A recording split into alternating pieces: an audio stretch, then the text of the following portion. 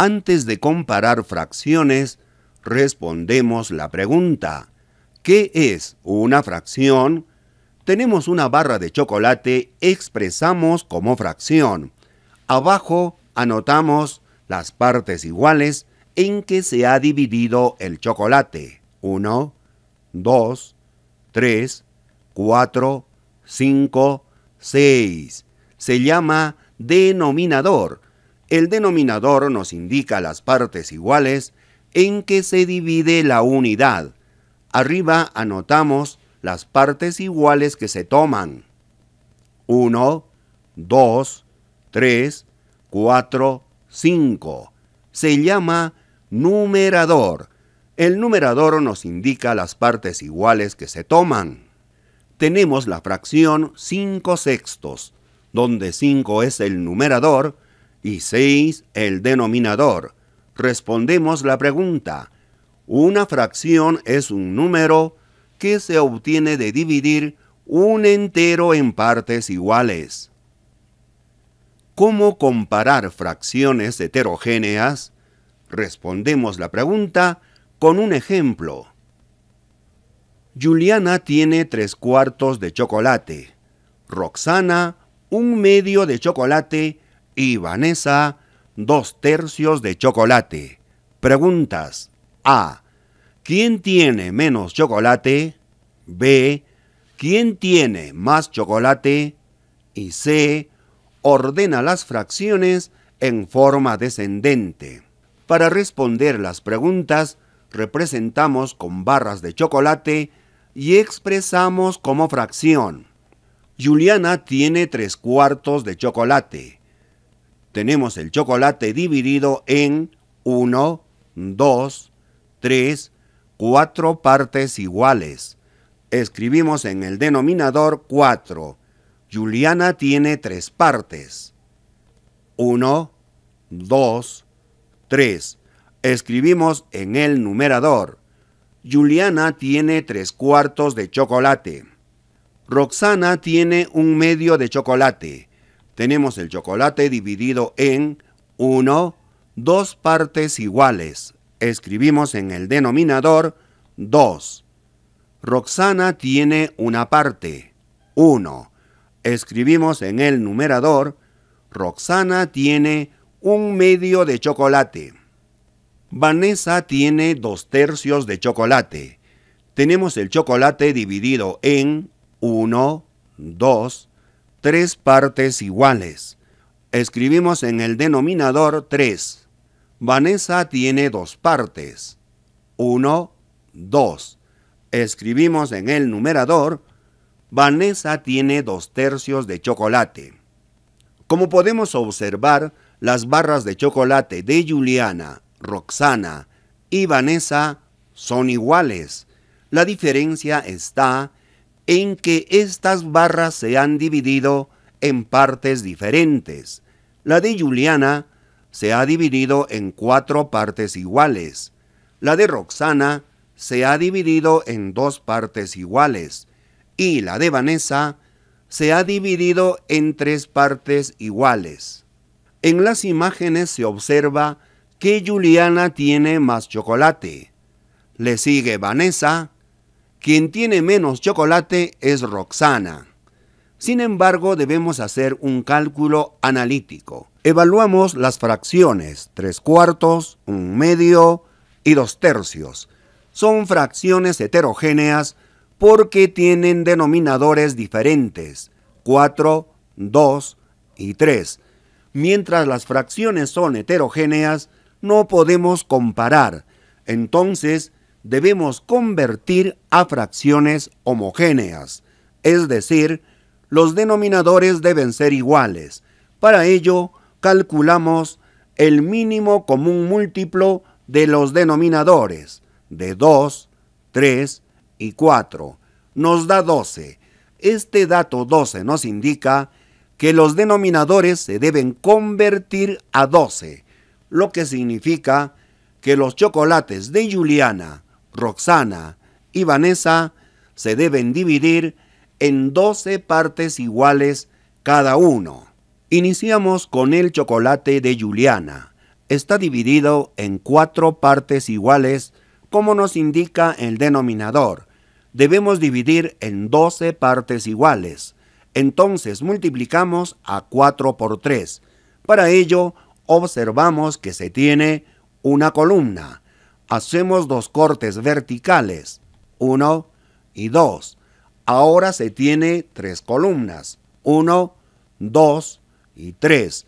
Hemos multiplicado al número de columnas, que era 1 por 3. Entonces multiplicamos a la fracción 3 cuartos, al numerador por 3 y al denominador por 3.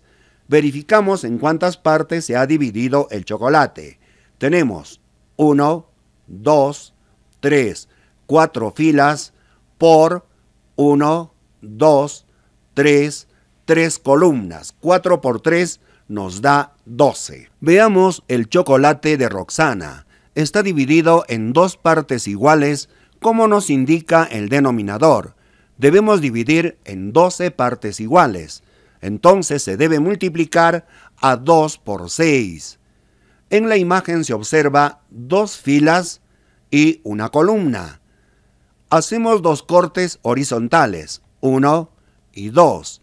Ahora se tiene 1, 2, 3, 4 filas. Hemos duplicado el número de filas. Se tiene una columna, hacemos dos cortes verticales. Ahora se tiene 1, 2, 3. Hemos triplicado el número de columnas. Multiplicamos 2 por 3, nos da 6. Entonces debemos multiplicar a la fracción un medio por 6 en el numerador, por 6 en el denominador. Verificamos las partes en que se ha dividido el chocolate. 1, 2, 3, 4 filas por 1, 2, 3 columnas, 4 por 3 nos da 12. Ahora veamos el chocolate de Vanessa. Se ha dividido en tres partes iguales, como nos indica el denominador. Debemos dividir en 12 partes iguales. Entonces se debe multiplicar el denominador 3 por 4. Observamos en la imagen 1, 2, 3 filas y una columna. Hacemos tres cortes verticales. 1, 2, 3. Ahora se tiene 1, 2, 3, 4 columnas. Se ha cuadruplicado el número de columnas, es decir, se ha multiplicado por 4 entonces multiplicamos a la fracción 2 tercios por 4 en el numerador por 4 en el denominador. Como se observa en las imágenes, los chocolates de Juliana, Roxana y Vanessa se han dividido en 12 partes iguales cada uno de ellos.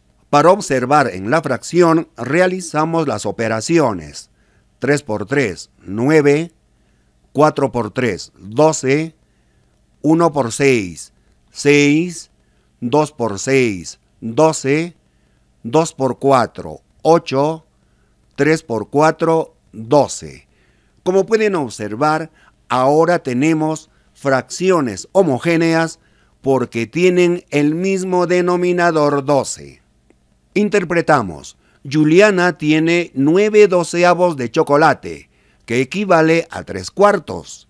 Roxana tiene 6 doceavos de chocolate, que equivale a un medio, y Vanessa tiene 8 doceavos de chocolate, que equivale a dos tercios. Analizando, quien tiene más chocolate es Juliana, 9 doceavos. Le sigue Vanessa con 8 doceavos, y quien tiene menos chocolate es Roxana con 6 doceavos. Respondemos las preguntas. A. ¿Quién tiene menos chocolate? Como podemos observar, quien tiene menos chocolate es Roxana. Respuesta. Roxana tiene menos chocolate. Es igual a un medio o seis doceavos. B. ¿Quién tiene más chocolate? Como podemos observar, quien tiene más chocolate es Juliana, nueve doceavos. Respuesta. Juliana tiene más chocolate, es igual a 3 cuartos o 9 doceavos. C. Ordena las fracciones en forma descendente. Descendente significa de la fracción mayor a la fracción menor. La fracción mayor es 9 doceavos. Le sigue 8 doceavos. Y la fracción menor es 6 doceavos. Pero debemos anotar la fracción inicial, porque estas fracciones son equivalentes. Respuesta, 3 cuartos, que equivale a 9 doceavos, 2 tercios, que equivale a 8 doceavos, y un medio, que equivale a 6 doceavos. Gracias por su atención. Si te gustó la explicación, suscríbase a mi canal, haz clic en la campanita para recibir notificaciones cuando subo otro video. Haz clic en me gusta, comenta y comparte.